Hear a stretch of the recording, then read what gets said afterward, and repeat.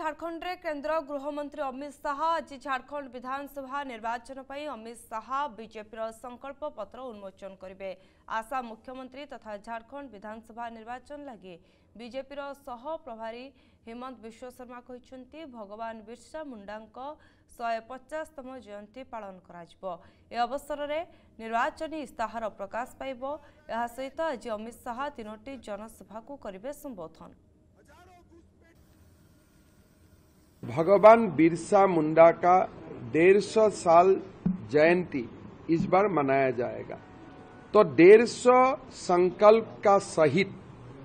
भारत का माननीय गृह मंत्री अमित शाह जी हमारे संकल्प पत्र का उद्घाटन करेगा।